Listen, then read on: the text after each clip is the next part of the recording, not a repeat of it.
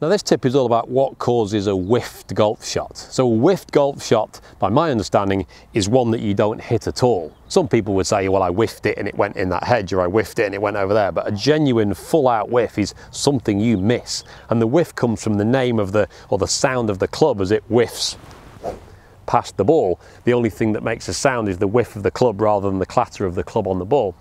So a whiffed golf shot why does it happen? Well, there could be a number of reasons. There could be lots of different reasons why it happens in your game due to a technical reason or a, or a swing error that you have. I think the good key thing for you to understand here is does it, does it happen to you more often in certain situations than others? Let's say you go to the driving range on a Friday night ready for a big game on a Saturday morning. And on the driving range, you get your book of 100 balls, pretty much guaranteed. You're not going to miss any. You're going to stand there and you're going to hit every single ball nicely down the middle. Lovely.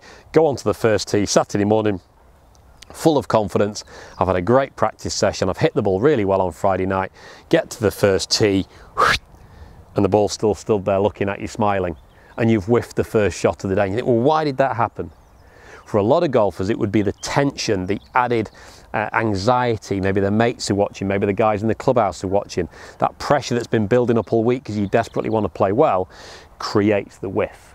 And for a lot of golfers, that's the tension manifests itself physically into their body to shorten a lot of their body parts. So as I set up to that golf ball there, I can reach that ball quite nicely. My arms, my hands, my legs are all nice and long and I can reach. Now, if I tense everything up, I can feel everything pull into my body. My shoulders rise, my elbows tuck in, my grip pressure tightens, and that everything pulls the club in.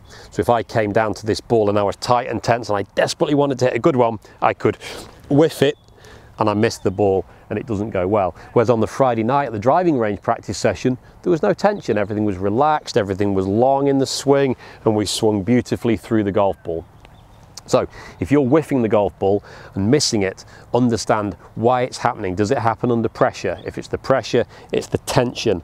Try and relieve that tension, relax a little bit more. Understand the more relaxed you play, the less whiffs you'll play, the better golf you'll play, and the more relaxed you'll be long term as well.